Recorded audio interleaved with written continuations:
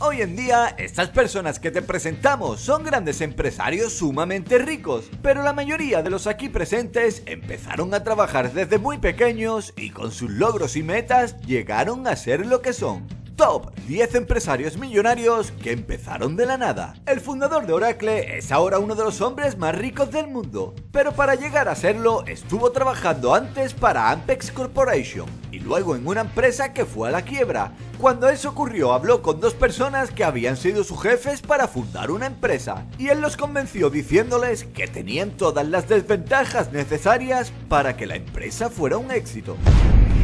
El presidente de Starbucks fue el primero de su familia en ir a la universidad y para ello tuvo que trabajar como camarero y hacer donaciones de sangre pagadas. Llegó a Starbucks en 1980 y con el tiempo ha ido ascendiendo para convertir a la pequeña cadena en la mayor compañía de cafeterías del mundo. Hace más de 30 años, Dell fregaba platos en un restaurante chino y en 1984, mientras estudiaba en la Universidad de Texas, creó la empresa PC Limited. Hoy es el fundador y CEO de la compañía Dell y uno de los principales vendedores de ordenadores, tablets y dispositivos informáticos. Creador de Apple pudo conocer al fundador de la compañía HP cuando estudiaba secundaria. Tan impresionado quedó este con Steve que le ofreció realizar unas prácticas en su empresa durante su época de vacaciones y le causó tan buena impresión que lo tuvo contratado como empleado de verano. El resto de la historia de Steve Jobs ya la conocemos. Ray Kork fue el fundador de la cadena McDonald's y también el responsable de la internacionalización y expansión de la misma. Antes de eso fue el socio de una empresa de máquinas de batidos, pero en realidad su primer trabajo fue vender vasos de cartón, como los que McDonald's continúa usando actualmente.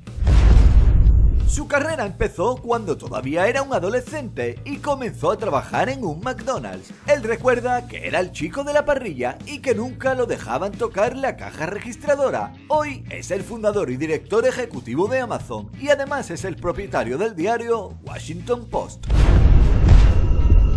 Warren Buffett es un inversor y empresario, además de uno de los hombres más ricos del mundo, pero su primer trabajo fue vender diarios en la calle. Si hay alguien que merece el título de empezar de la nada, ese sin duda es Warren Buffett, ya que viene de una familia bastante pobre.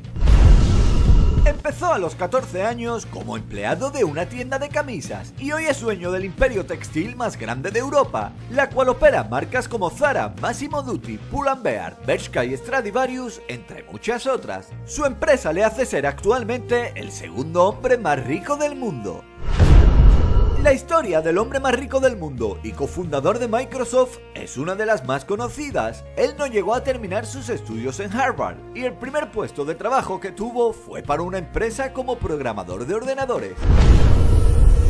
Sin ninguna duda, levantó un imperio de la nada. El creador de Mickey Mouse comenzó su vida laboral como repartidor de periódicos junto a su padre y su hermano Roy cuando apenas tenía 9 años. Luego fue conductor de ambulancias de la Cruz Roja, hasta que decidió en 1919 empezar su carrera artística con un pequeño estudio. Actualmente ese estudio es The Walt Disney Company y gestiona 18 parques de atracciones, 39 hoteles, 8 estudios cinematográficos y 22 canales de televisión. Deja un like si te ha gustado, suscríbete en el canal, un abrazo y hasta el siguiente vídeo.